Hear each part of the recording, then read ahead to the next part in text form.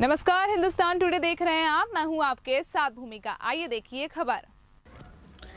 डबरा की सब्ज़ी और फल मंडी रात्रि 9 बजे से 11 बजे तक थोक विक्रेताओं के लिए खुली है, जहाँ ना जाने कितने लोग मंडी में सब्ज़ी, फल खरीद रहे हैं जिससे पूरी मंडी में सोशल डिस्टेंस की धज्जियाँ उड़ाई जा रही है। वहीं प्रशासन द्वारा दिए गए आदेशों का पालन करने के लिए कोई जागरूक इंसान दिखाई नहीं दे रहा। लगता है सभी को प्रधानमंत्री और प्रदेश के मुखिया शिवराज सिंह चौहान द्वारा देश और प्रदेश के किए गए संबोधन को भूल गए हैं और इस समय भीड़ में कोरोना वायरस फैलाने के लिए मंडी में आवश्यक भीड़ हो रही है। लगता है कि लोगों को कोरोना जैसी महामारी से बिल्कुल भी डर नहीं लग रहा है, जिससे पुलिस का डंडा भी असर नहीं कर रहा। ऐसे में कोई भी संक्रमित व्यक्ति इस भीड़ में घुसता है तो ना जाने कितने लोगों उस वक्त से संक्रमित होकर हमारे डबरा शहर को गली मोहल्लों को भारी नुकसान पहुँचा सकते हैं। डबरा से संवाददाता ओम बाबू प्रजापति की रिपोर्ट।